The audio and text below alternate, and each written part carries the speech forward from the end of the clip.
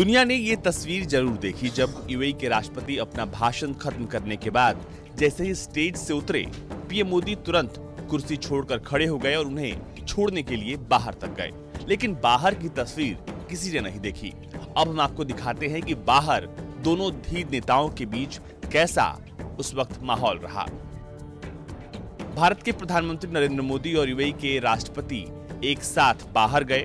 खुद प्रधानमंत्री नरेंद्र मोदी उन्हें सी ऑफ़ करने के लिए बाहर तक गए। उनके साथ गुजरात के तमाम बड़े नेता और गुजरात के मुख्यमंत्री भी मौजूद थे। लेकिन जब यूएई के राष्ट्रपति गाड़ी में बैठ गए तो कुछ इस अंदाज में प्रधानमंत्री नरेंद्र मोदी ने अपने दोस्त को विदा किया। ये तस्वीर सोशल मीडिया पर काफ़ी तेज़ी से वायरल हो रही है और लोग इसे अपने अपने तरह से डिकोड कर रहे हैं। लेकिन आइए, भारत और यूएई के लिहाज से इस तस्वीर को डिकोड करने की कोशिश करते हैं। इस तस्वीर में यूएई के राष्ट्रपति गाड़ी के भीतर बैठे हैं और बाहर प्रधानमंत्री नरेंद्र मोदी दोनों हाथ जोड़कर उनका अभिवादन कर रहे हैं और गाड़ी के भीतर से यूएई के राष्ट्रपति हाथ हिलाकर उनका अभिवादन कर रहे हैं। ऐसे में इस फ़ोटो को कुछ इमारती लोगों ने ट्वीट किया और लिखा कि देखिए, हमारे रिश्ते कितने मज़बूत हैं। वाइब्रेंट गुजरात में हमारा गर्मजोशी के साथ स्वागत और कुछ इस तरह का प्यार भारत ने दिया, इसे इमरती कभी भूल नहीं पाएँगे।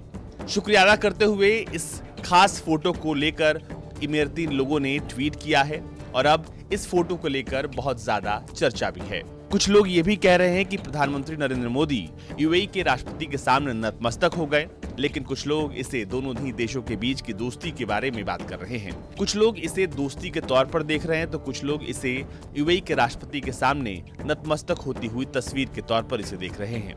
लेकिन मेजोरिटी इस बात को मान रही है कि ये दोनों देशों के बीच के संबंध और दोनों नेताओं की दोस्ती को दर्शाता है किस तरह से प्यार और आदर सम्मान से पीएम मोदी ने अपने दोस्त को विदा किया।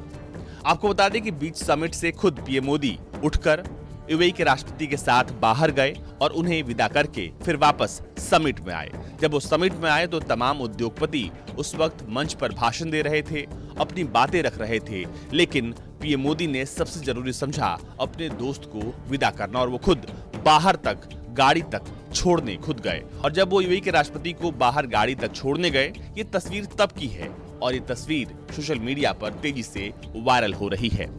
ब्यूरो रिपोर्ट, भारत तक।